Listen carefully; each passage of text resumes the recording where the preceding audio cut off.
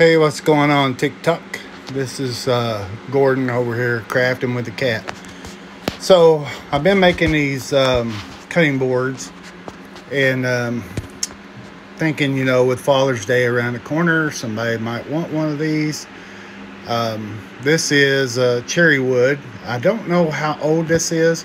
I do know that the place where I got it from, they um, uh, used to have a sawmill and they did uh, a lot of wood out of there, and they um, did a lot of um, 200 euro wood.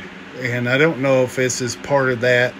Uh, I do have some over there that I know that is 200 years old. I will be doing some stuff with uh, somewhere down the road. But anyway, this is a cutting board. Now, as you can see, all that detail, I mean, it just pops out of there. So, a lot of people say, well, you can't use it. Well, you can. What this is, is now I've used this oil right here. It's for butcher blocks.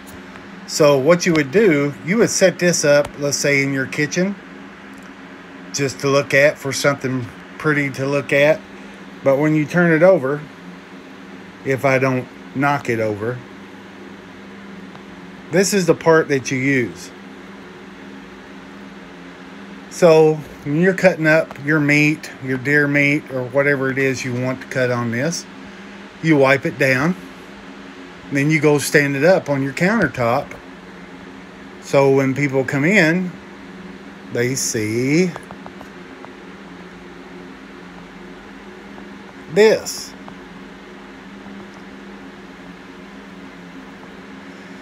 So, if anybody is looking for something like this for Father's Day, hey, look me up.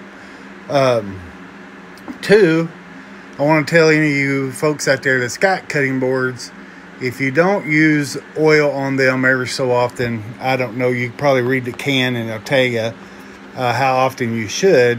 What's going to happen is those uh, cutting boards will crack and they get to looking pretty rough, but you can keep them looking good. And I don't know if you can see, so when I use this stuff, that little can right there is like $17. Um, but I really soaked this in on this side and I won't do it again.